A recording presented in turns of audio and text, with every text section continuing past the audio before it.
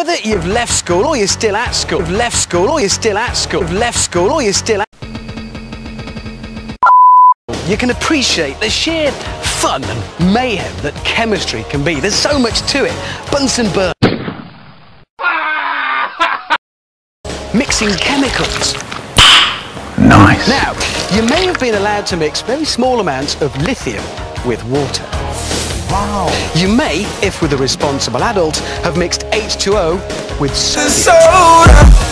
And you may, under very strict scientific control, have witnessed potassium mixed. Damn, son.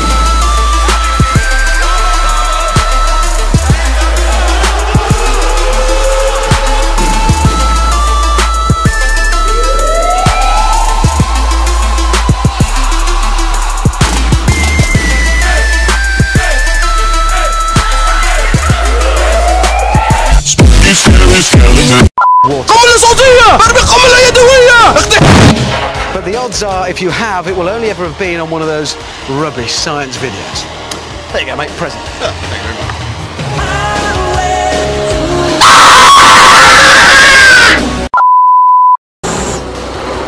These next two are the dog's nuts of the periodic table. They are, if you like, the king and queen of alkali metals. Mix these babies with water, stand well back, and watch the mayhem. And that's just what we're going to do. Mr. Tickle, bring on the rubidium.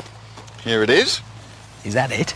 Well, it might not look like much, Richard, but it's a highly reactive metal. It's sealed in this glass tube under argon atmosphere conditions, just for safety. Right, so what's going to happen when you drop that in the water? Well, imagine, if you will, letting off a hand grenade in a bathtub. Righto, I'm off. Have that. Okay. Good luck.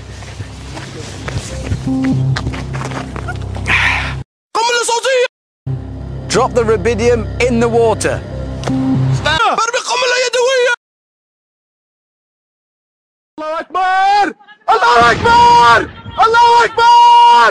Allah Akbar! Allah Akbar! Allah Akbar! Allah Akbar! Lakin Allah Rabbi!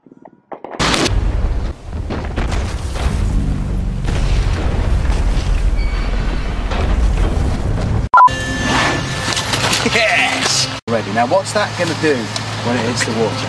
Imagine a depth charge in a bathtub. Fair enough, mate. I'll leave you to it. Good luck. Thank you. Okay, John, go for it. Warning, warning, warning, extreme danger, clear the area.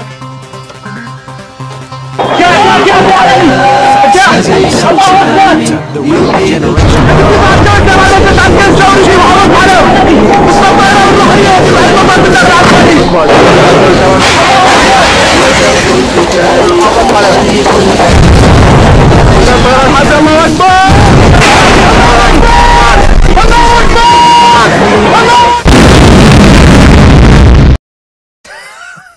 This is great banter.